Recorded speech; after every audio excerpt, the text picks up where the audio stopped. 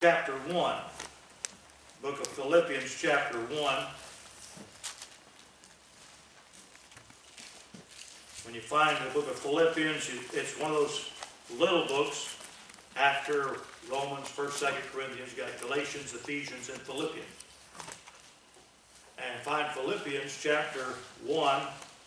And I'm hoping that the message this morning will help all of you appreciate your church and maybe give you a little bit of an understanding of what's going on in the in this world and in America with with different kinds of Baptists and exactly what is an independent fundamental Baptist uh, versus Southern Baptist. And so Philippians chapter 1, if you have it, would you stand with me please in reverence for the reading of the Word of God. Philippians chapter 1.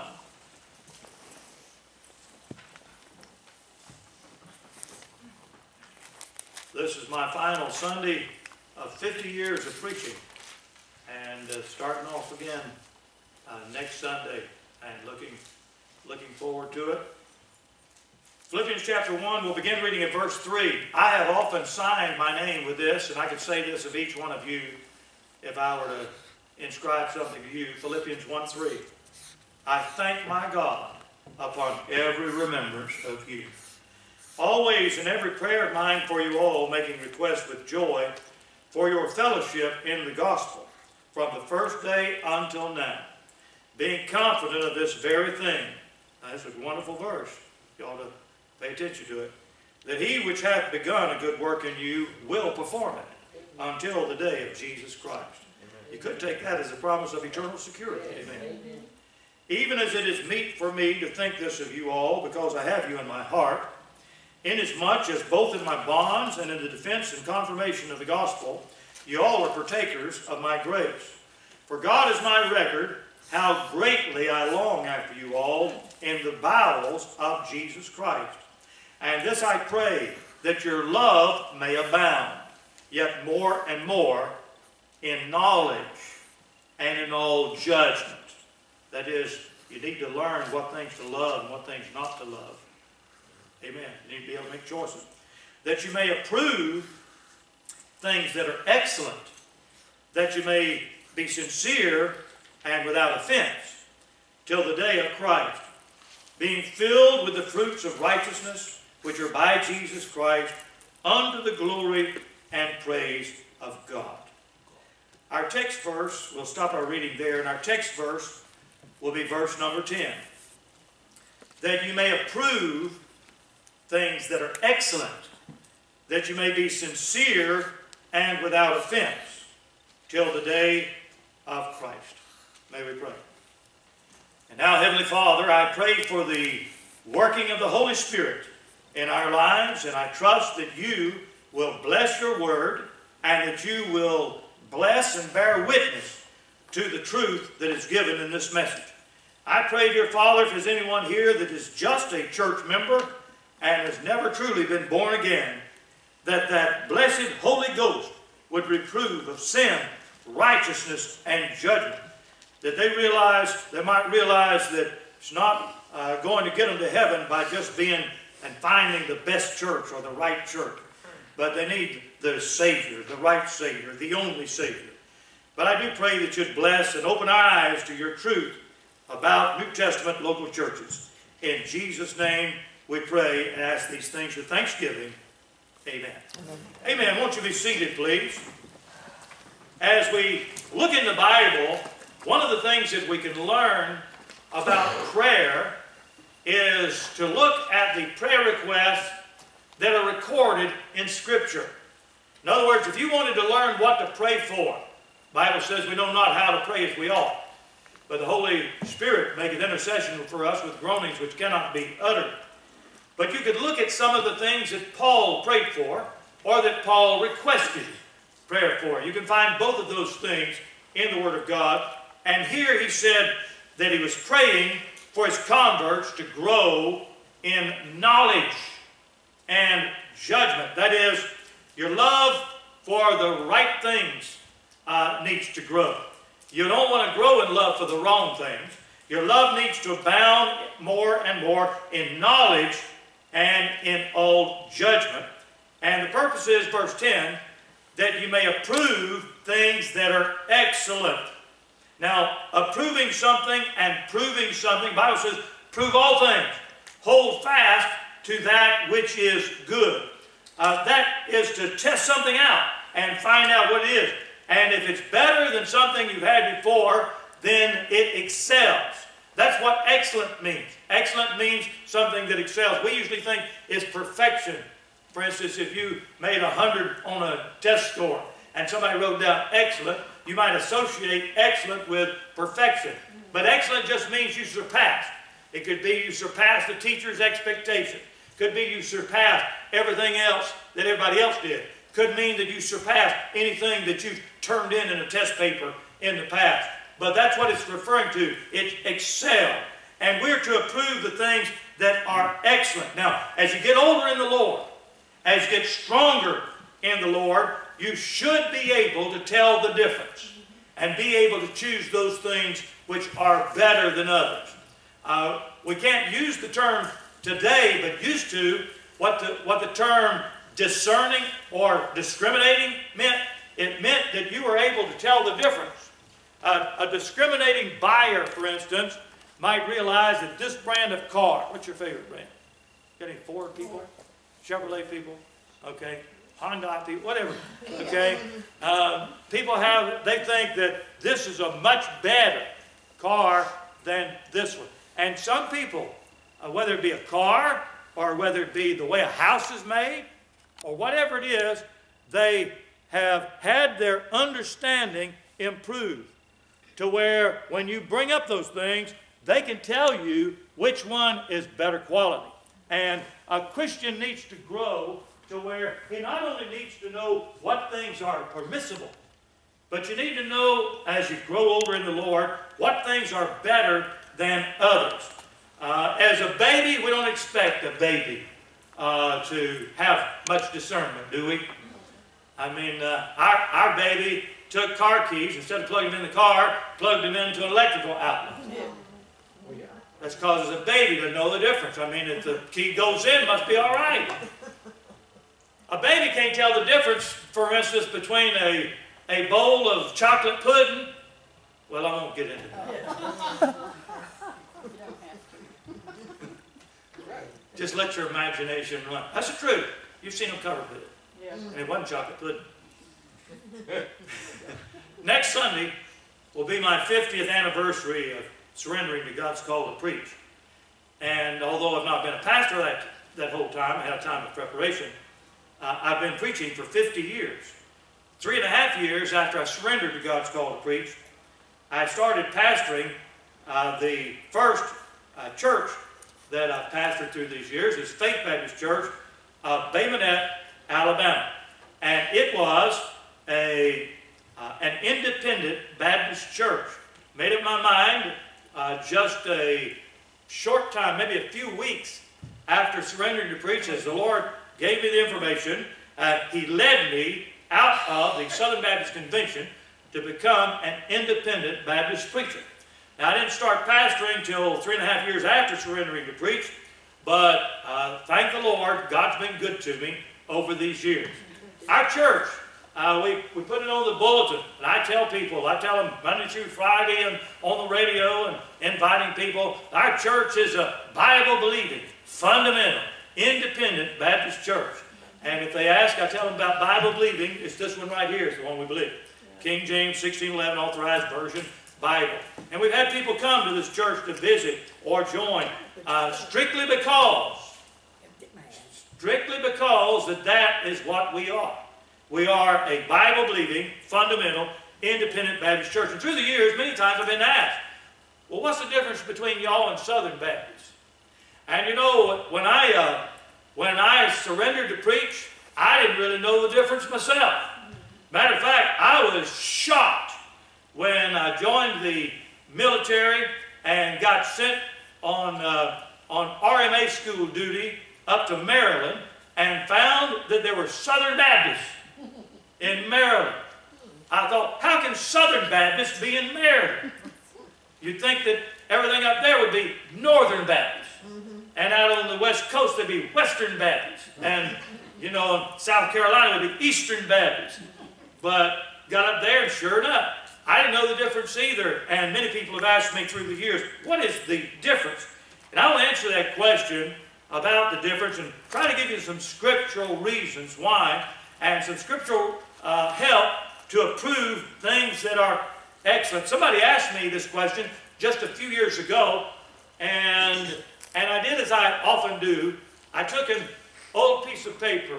I'm real cheap. And just about everything that I run off on a copy machine, if there's extra pages left and they're blank on one side, I save it. I've got, I've got stacks of paper this, this big uh, of stuff that's been printed on one side. And so that becomes my note paper, my scratch paper. I took one of those, folded it in half, and I started writing down the difference. And when I think about something that I thought was important, I, I'd write it on there and stuck it back in my drawer. And so here I want to bring you some thoughts that, that I believe the Lord has given to me over the last, uh, well, over the last 50 years, really. And I am going to simply title the message. And I hope it'll help you. I'm going to title the message, The Difference. The difference between Southern Baptists and Independent Baptists. And it does make a difference that there is a difference because the church that you attend and join is going to have a major impact on your Christian growth and your Christian life. If you get into uh, the wrong kind of church, you may stay ignorant and carnal all your life. But if you come to the right kind of church with the right kind of attitude, you can learn the Word of God. One of our ladies here, one of the things that she said to encourage me that is, that is joined within the last year is, uh, in addition to other things, so say, Pastor, I'm learning all the time. I'm just enjoying learning, coming to church and learning. The difference is, is that if you get into uh, the right kind of church by proving the things that are excellent. fellow said uh, to me about trying to find a church in a town, and, and he couldn't find one that that uh, lined up with everything that he believed on everything. Has anybody ever been able to join a church that lined up with everything you believe about everything? I mean, if they lined up with everything I believe about everything, then nobody would like chocolate ice cream because I really believe that the best is Bluebell homemade vanilla. Okay? I've never been a part of a church that believed everything I believe about everything. But what I told the fellow was, is I said, well, I will never uh, join a Southern Baptist church. And I'm going to tell you reasons why. But uh, what I would do is I'd find the best church in the area. Right. I would not stay home. I would go to the best church I could find, and I would be charitable toward things that I disagreed with. I'd be charitable toward brethren and sisters that I disagreed with. I'd ask God to make me a blessing and give me a blessing by being in that church. I want to talk to you about that kind of attitude. Again, I, I, I am not saying all Southern Baptists are lost. Some of you got saved in the Southern Baptist Church. I am not saying you're lost. I was saved in the Southern Baptist Church. February 11, 1968. I surrendered to preach in a Southern Baptist Church. Now, within like a month to two months, I don't remember exactly from, from I surrendered in March, somewhere around April, May, we got out of the Southern Baptist Convention. And I believe the Lord led me out of the Southern Baptist Convention, never to return. I've got a booklet. You can see Ms. O'Neal if you'd like a copy of it on why I am not a Southern Baptist. And if you've got internet connection and, and don't want the booklet, you can go to YouTube. It's on YouTube uh, about why I am not a Southern Baptist. I was saved in a Southern Baptist church. So you're not listening to a preacher, and don't lie about it. You're not listening to a preacher that says all Southern Baptists are lost. I do not believe that. But I don't preach in their churches, and I don't have them preach for me. Amen. And there are differences between individual churches of any denomination. And belief, practice, atmosphere, whatever. I will not join a Southern Baptist church. But let me say, I do not have any desire to join or attend some independent Baptist churches. I'm not going to ever choose a Southern Baptist church to, and I'm not going to pastor one. Uh, people, I can't remember who it was, somebody got in touch with Ms. O'Neal and, and said, your pastor is always blasting the Southern Baptist Convention. Your husband always past, blasting the Southern Baptist Convention. But if he got him a great big church paying him big money, he'd go in a heartbeat. And the, the guy was lying, of course, because of what. But having, uh, having said that, I understand that there are some independent Baptist churches got a real problem. And I understand that, that there are saved people in Southern Baptist churches, and some of them uh, have got people in them that have got some real good points about them. They're exceptions to the rules. But what is generally going to hold true are some things that I'm going to mention to you uh, this morning. And I will say about some independent Baptist churches, some independent Baptist churches still have habits. From back there in the Southern Baptist Convention. Because most, not all, most independent Baptist churches that have been in existence for a long time were one time Southern Baptist churches. And if they weren't, then they've got people in them that were saved in the Southern Baptist Convention that are now independent Baptists. But there are churches that are still Southern Baptist in practice that call themselves independent Baptists. And there are churches that are independent Baptists that want to be identified as Southern Baptists. So they run with Southern Baptist people. And they have Southern Baptist preachers in. They preach in Southern Baptist meetings and conferences and so forth. And if you go to their website, it aggravates the stew out of me to go looking for a church for somebody to visit while they're while they're traveling and go to the website of a church that I thought might be an independent Baptist church, and nowhere can you find it say that they're independent. Nowhere. And if that's the case, then I would try to find another place that comes out now and lets you know where they are. I'm going to give you some differences. Number one, the mission program is different.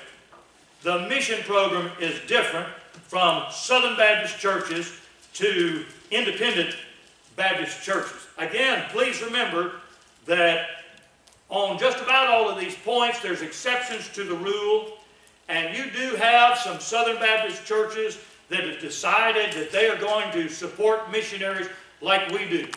But they're probably like one out of a hundred that do that. There are some Southern Baptist churches that will have a mixed missions program, and some of their missionaries will be picked out uh, the way that we pick them out. But the great difference that led me out of the Southern Baptist Convention didn't really have to do with an individual preacher, an individual church. Matter of fact, my preacher was Bruce French uh, when I pulled out, First Baptist Church of Cantonment, Florida. And he was my first pastor after I surrendered to preach that actually called on me to preach, let me preach there. Well, I thought it was big time. First Baptist Church, Cantonment. Wow. And, uh, and I felt like that my preacher could preach rings around any preacher that I knew of. Uh, but uh, I left because primarily of the missions program. And what I'm talking about is, here's the difference. Southern Baptist churches, their main means of supporting missionaries is for a percentage of their offerings to go into the cooperative program, the CP, the cooperative program. You never heard. I'm teaching you something this morning. You've never heard of it, the way that Southern Baptist churches support their missionaries primarily is through the cooperative program. And of course, people associated with, with uh, Southern Baptist headquarters and the mission board and all that, they would prefer that every dime that you give to missions, uh, if you're a Southern Baptist church, would go through the cooperative program. Sure. Now, what you do is, is, is everybody may talk about missions, every now and then have a missionary. Many uh, Southern Baptist churches have never heard a missionary uh, in person. They've never had one come by the, the church. And they support this program, and the people who run the program, they divvy out the money. It comes into a central pot, the cooperative program, and they divvy out the money. They send some money to orphanages. They send some money to hospitals. They put some money to stocks and bonds. Honestly, they do. And they send some money to home missionaries, some money to seminaries and colleges. And they send uh, some money to individual uh, missionaries. And I've read accounts through the years about what percentage actually gets to the missionary. I'm not going to try to uh, impress you by something that I am not actually sure about on that, so I'm not going to repeat anything, but I'm just saying it gets divvied out. And um, the difference is, is that independent churches, independent Baptist churches, uh, after prayer and many times after meeting the missionary, many times the missionary speaks to the people, uh, independent Baptist churches support individual missionaries and work. that they've prayed over and they decided that this person, this work, this ministry is worthy of our support. And we choose and we support that missionary.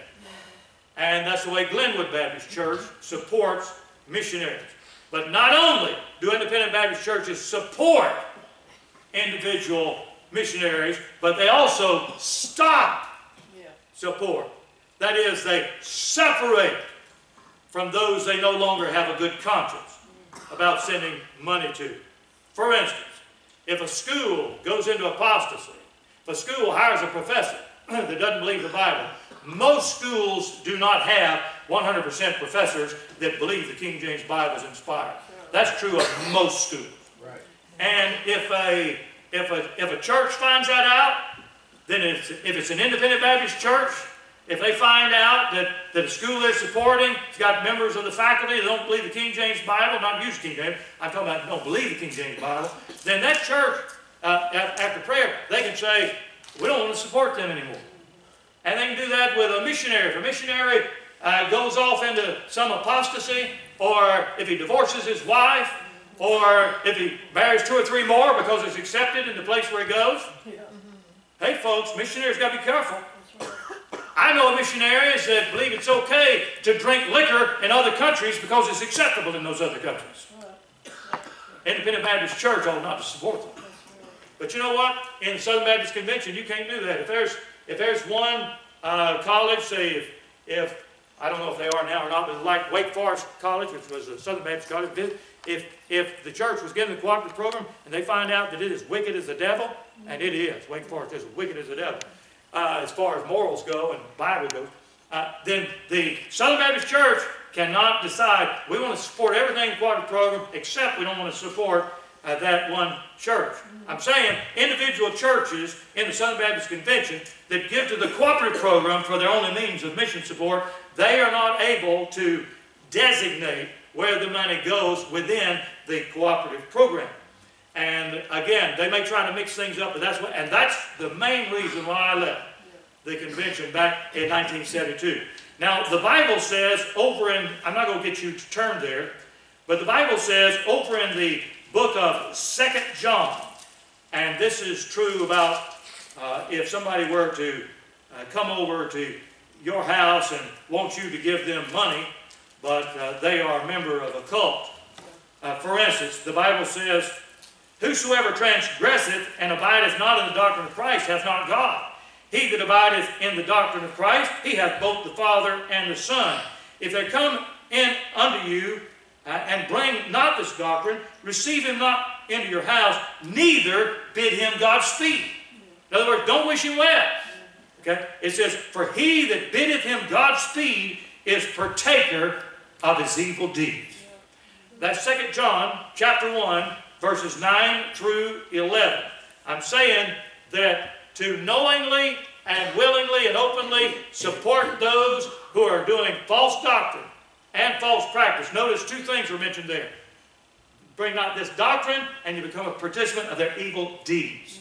If their beliefs are wrong, their behavior is wrong, you and I become a part of what they're doing by giving them money.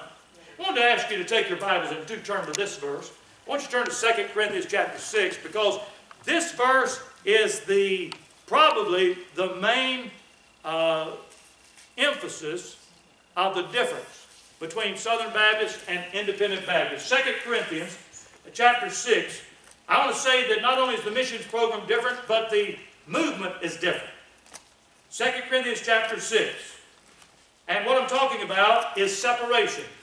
Separation from false doctrine, separation from false practice, separation from sin and ungodliness.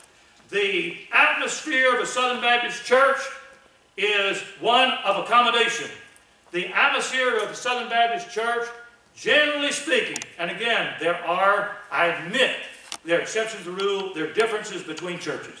But I'm just, the next things that I'm going to give you after the mission the next thing I'm going to give you are things that are generally true.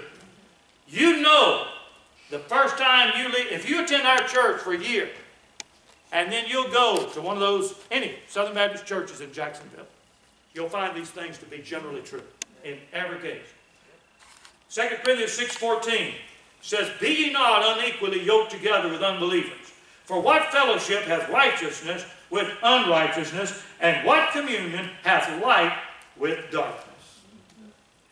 Down in verse 17 it says, Wherefore come out from among them, and be ye separate, saith the Lord, and touch not the unclean thing, and I will receive you. Independent Baptist churches separate ourselves from bad doctrine.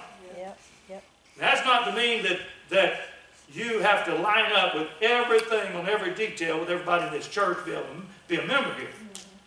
But, it, but, but if you come to our church, you're going to find that this church is sound in doctrine and in practice. Amen. Whether everybody's got everything understood or not, we certainly uh, can agree that's not so. And when we have people that get saved, uh, those people are babes. And you have people that come out of churches that haven't been taught the Word of God. We understand that it may take them a while. But one thing that, that you can count on if you're in a good independent Baptist church is they are going to separate from bad doctrine and they will expose bad doctrine. Amen. You may attend a Southern Baptist church for a long time before you ever hear them say anything about Benny Hinn, Jimmy Swaggart. You attend a good independent Baptist church, they will expose those wolves in sheep's clothing. They'll tell you John Hagee is not sound. They'll tell you that Joel Osteen is nothing more than an entertainer and a positive thinker motivator. If you're in the right kind of church. I know this is more of a Sunday night message, but we need this here at Glenwood Baptist Church. Amen. We are not that other kind. Right. We are a Bible believing, fundamental, independent Baptist church. We pick out the missionaries that we want to support under the leadership of God Almighty. Amen. No headquarters anywhere is going to tell us that we've got to support this or that. And that we can't support anybody uh, in the mission without supporting these other things too. And the movement is different. If you go into an independent Baptist church, there's going to be an emphasis on separation. Separation from bad doctrine and separation from bad deeds. Back when I uh, first uh, pulled out of the convention, oh my, I could not believe so much stuff was being preached against in that independent Baptist church I attended that I was doing. and if I wasn't doing it, my wife was doing it. And I realized that there was things that that uh, probably people live differently than me. In the Southern Baptist Church I was saved in. I remember hearing them say that you can't do this, you can't do that, you shouldn't do this, you shouldn't do that, you need to start doing this. Boy, oh boy, what a change we had in our life because of separation. Some of you heard me tell the tales. I'm not going to go through it again for time's sake. Boy, we'd only been married just a short time. We got married in 70, 71 and pulled out of the convention in 72. Boy, did we have some growing pains. But thank the Lord for God's Holy Spirit leading and guiding. And it doesn't matter if you got saved in a Methodist church or whatever. If you got genuinely saved, you have the Holy Spirit in you. Amen. And the Holy Spirit, as you are confronted with the truth, the Holy Spirit, now if you listen, you got to listen to it. He will not make you. But the Holy Spirit in you will bear witness. Whatever, however your background has been, the Holy Spirit will bear witness. I mean, tell you, sometimes I was sitting in church and it was like I was getting shot at. Boom, boom, boom. I got to give up this. Boom. You've heard me tell about one preacher that went to one of these meetings where a preacher preached from, he's from the Carolinas. He's dead with the Lord now. Both of them are dead. But uh, most of my friends are dead. What's that tell you? but but uh, he listened to this guy preach, and he just preached. I mean, he preached up a storm. And he told my preacher friend, who, who told the story on him, as they left the meeting, he said, Boy, I'm glad that's over with. and the preacher, my preacher, the preacher led me the Lord. He said, uh, he said, I thought it was pretty good. And he said, Well, yeah, it was, but he preached against everything. And he said, I just knew he was going to hit Coca Cola's next, and I do love them. And that's why some people don't want to go to an independent Baptist church, Yeah, that's right. is they don't want to hear somebody preach against Yeah. whatever it is that they do. Number three, another thing is different. The message is different. The message is different. I know I'll get you turned here, but 2 Corinthians 2.17 says, For we are not as many which corrupt the word of God. But as of sincerity, but as of God, in the sight of God, speak we in Christ. Independent Baptist churches, and this is largely true of them today. It used to not be, but it is largely true today. Independent Baptist churches have located the book. This place in the Old Testament I quoted this past week where the fellow said, I have found the book. And I said, under the comments, I said, I have too. It's a King James 1611 authorized version Bible. This is the book. We've located the book. You go into a Southern Baptist church, you may have a preacher, you may have individuals, but you almost uh, have to go to a hundred of them to find one of them that the church takes a position on the King James Bible, being the infallible, inerrant, inspired Word of God, and the others are not. That includes even the most conservative Southern Baptist preachers you've ever heard. Charles Stanley is not a Bible believing preacher. That's right. I believe he's saved. He's probably one of the most sound preachers on television. Right. He is not a Bible believing preacher. He does not believe the King James Bible. That's right. And you'll, you'll have to go through hundreds of, of well known uh, conservative Southern Baptist preachers to find one that believes what we believe here that this book has no errors in it. That's right. This book is translated perfectly. We don't just use it because it's the best, we use it because it's the Bible. Amen. We believe the Bible is God's infallible word. The message is different. Our church has located the book. Independent Baptist churches have located the book, and it's a King James Bible. I hold it up all the time and let people know where we stand. And not everybody has faced the issue. Not Everybody has investigated the issue. And I realize somebody may get mad and leave because they don't believe that. That's all right. That's what we believe here. We've located the book and we live by the book. Every now and then we'll joke about it. And I'll say something like uh, that the King James Bible is our quarterly in Sunday school. And that's not to say nobody in our church will use literature for anything, but the literature that we use as our curriculum here at Glenwood Baptist Church is this Bible. And we live by it. And it is the final authority in our church on everything. The majority of Southern Baptist churches do not stand for the King James Bible. And almost no Southern Baptist preachers believe that the King James Bible is inspired. Number four, what's different? Aren't you glad you asked? Yeah. Somebody that, that has asked in this church, not even here today, so you're going to just have to pass this on to them. What's the difference? I'll tell you something else that's different between independent Baptist churches and Southern Baptist is the music is different. The music is different. I was thankful to come to a church that wanted to sing out of the hymn books. Amen. And we wanted to sing the old hymns. You know what the Bible says about worldly things, worldly music, worldly dress, and all that? Can you tell that we're trying not to emphasize all the worldliness of, of trying to have a worldly church? I don't believe God says, above all things, be ye worldly, because I am worldly. Yeah. God says, be ye holy, for I am holy. And there ought to be a spirit of holiness, not worldliness. Not let's see how worldly we can get and still get by with it.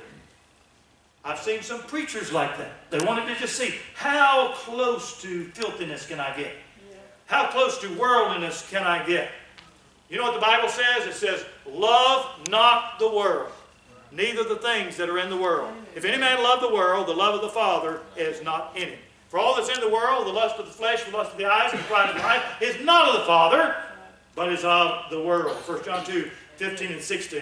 When the Bible says, speaking to yourselves in psalms and hymns and spiritual songs, singing and making melody in your heart to the Lord. I don't believe that the Bible is talking about what some of you folks have heard in Southern Baptist churches you've been members of, or that you've got relatives in. I almost played around with some of that stuff yesterday, day before yesterday. Y'all pray for me. I don't fall into temptation. Anybody remember the Barretts? The Barretts got another one of those apps, and we kept them all day on Friday. Pray for Sister Amelia Barrett. Oh, pray for Sister Amelia Barrett. Not because, pray for her, that cancer. I'm not going to say anything more about details about it. Pray for Sister Amelia about the cancer. But anyhow, we, had a great time with the kids. Sure enough, they did it again. They took, they took a picture of me, just like this, mouth closed. I know you think that's hard to find, but anyhow. took a picture of me, mouth closed, not smiling, just looking. Did the same thing with Miss O'Neal. You know how hard, well, anyhow, took, took a picture of Miss O'Neal, took a picture of me, and then they put it in, and then they put it in this app, and they put a song of the Bee Gees. Anybody remember the Bee Gees from like the fifties or sixties?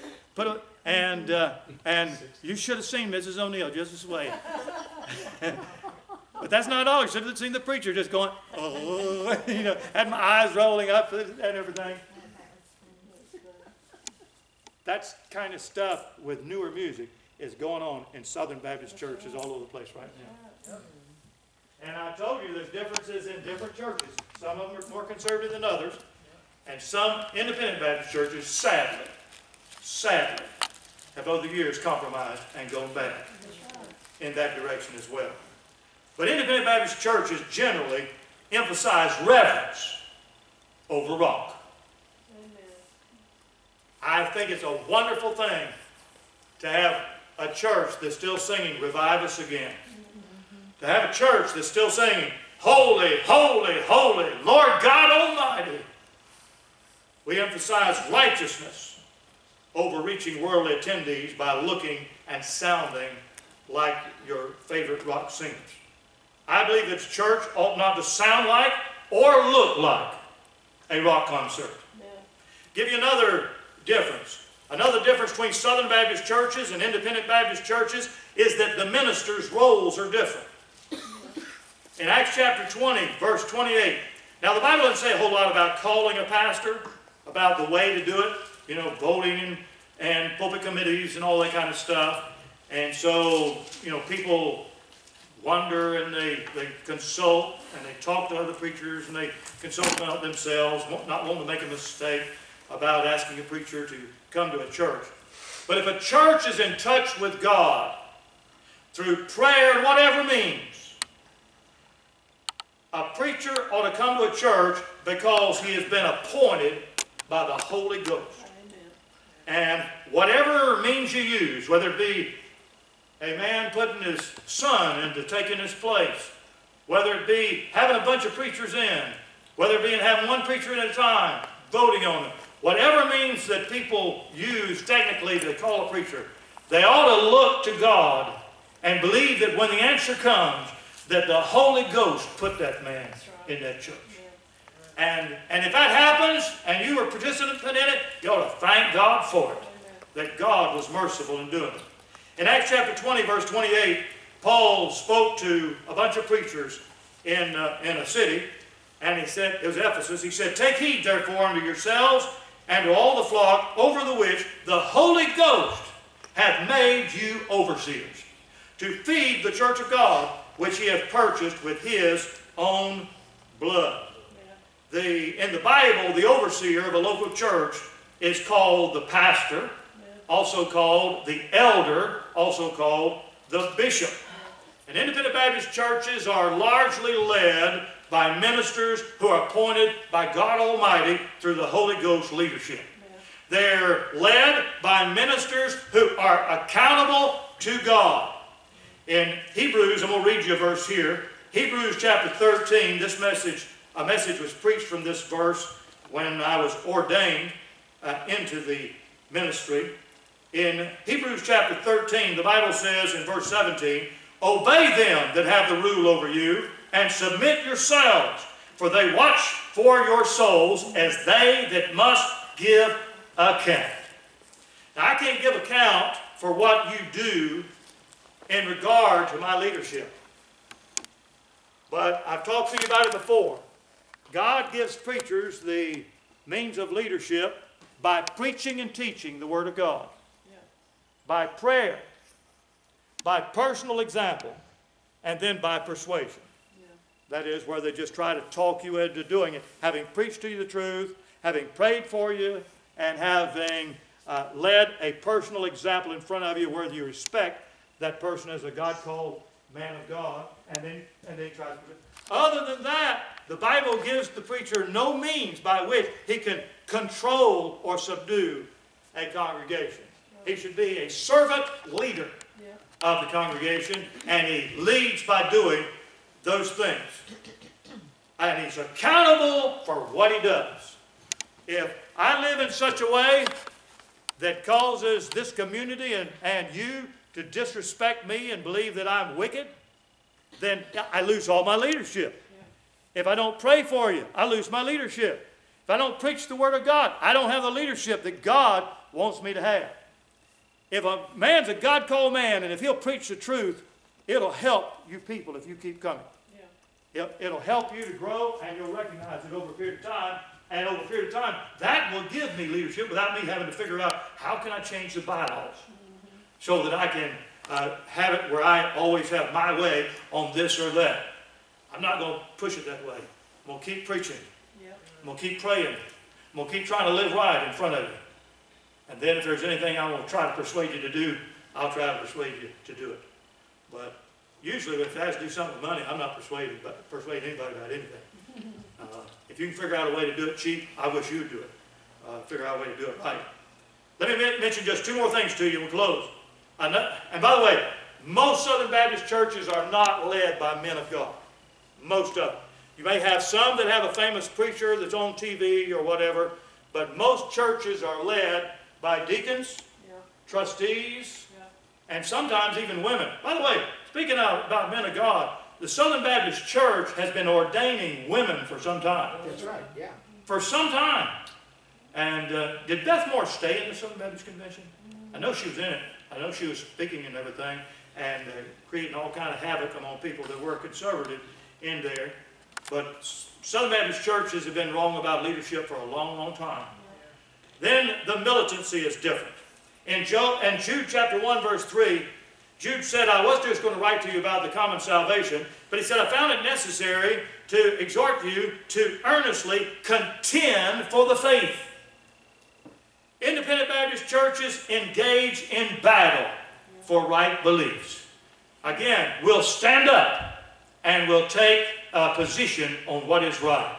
An independent Baptist church ought to have a preacher that'll stand up about abortion. He ought to stand up about liquor. He ought to stand up about any wrong issue. Whether the Bible mentions it specifically, the Bible doesn't say the word abortion.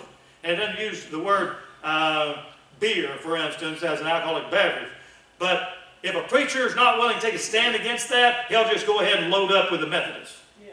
Right. or the Southern Baptists. Somebody said the difference between the Methodist and the Southern Baptist was, was the, the Methodist drank, uh, drank liquor and the Southern Baptist just drank beer. Yeah. That's a joke, okay? It's, it's not, it's not a dogmatic statement.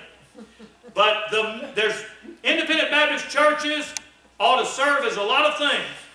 But one of the things they ought to be is they ought to have a militancy about them.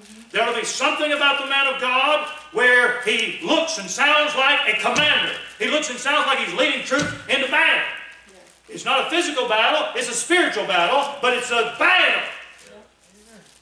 And you don't want somebody that sounds effeminate leading you Yeah. into battle.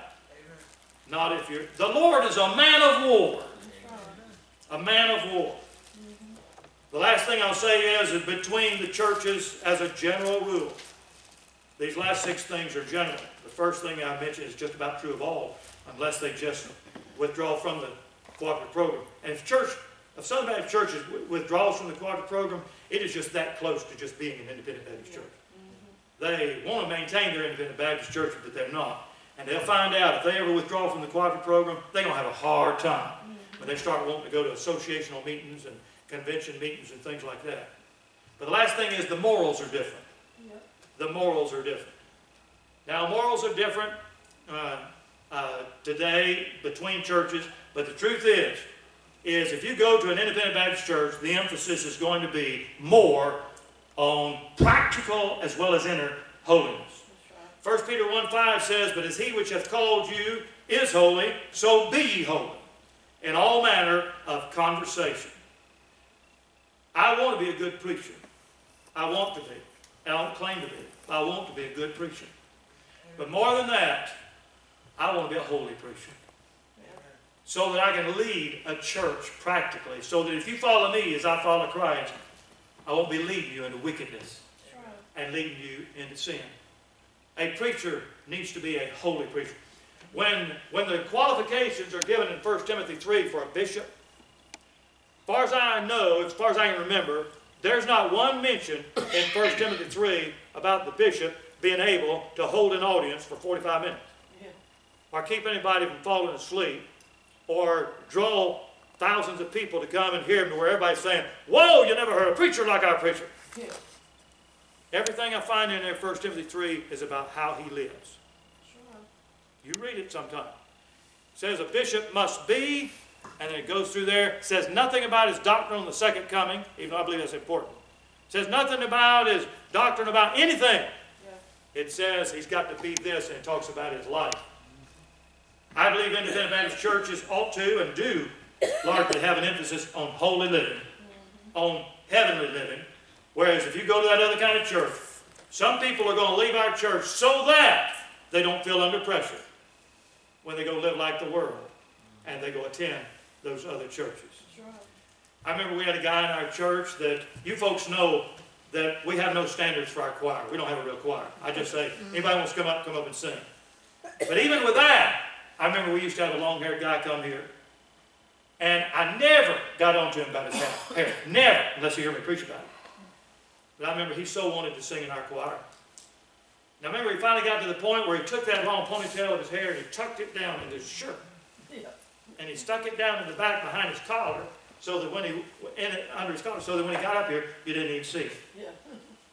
I'm saying there's an atmosphere in independent Baptist churches that is different. And Now, there are exceptions to the rule. I told you I left the Southern Baptist Convention over the first principle. And I told you that many independent Baptist churches are still dragging around old Southern Baptist Convention habits. Many independent Baptist churches are running with Southern Baptist churches. There's differences between churches within both groups. But what I've given you are, I believe, scriptural marks of what ought to be a good church. And a good church, including number one, about not belonging to a missions program where you support just the whole thing. A good church is an independent Baptist church. Bible believing, fundamental, independent Baptist. I talk, again, I have Southern Baptist background. I talk with independent Baptist preachers and members and Southern Baptist preachers and members just about every day. So I'm not saying something I don't know anything about. What I'd like to do is encourage you to pray for your church. I'd like to encourage you to, to, to look to other people in the church and just encourage them. Be patient with them. And you be a part of trying to have the right kind of church. Be a part of the solution and not a part of the problem. As for me and my house, we know the difference. My wife and I were about to complete 50 years as independent Baptists, Bible believing, fundamental independent Baptists. As I said in a message I preached to you not too long ago, within the last year, I think, and I titled it, I have no intention of changing. Stand together, heads bowed.